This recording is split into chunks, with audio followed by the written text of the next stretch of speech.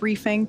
Actually, there uh, we can see the first view of the crew as they exited the Falcon Support Building. That's about a half mile down the road from the launch pad. I love this part where they get a little wave. they then got into the Teslas, which transported them up, like I said, about a half mile to the launch pad. Um, of course, they're physically fit, they could walk it, but we want to make sure they stay cool and comfortable. Uh, so these are the Teslas arriving to the launch pad. And one of my, um, oh, this is a great view here of the crew. Just look at that calm, that patience. Uh, I feel like if that were me, I would just be busting with excitement. Yeah, well, they are.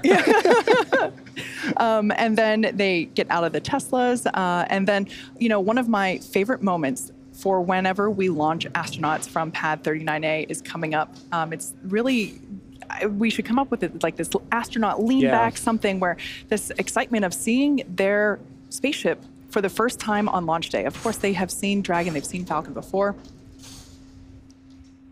And now at this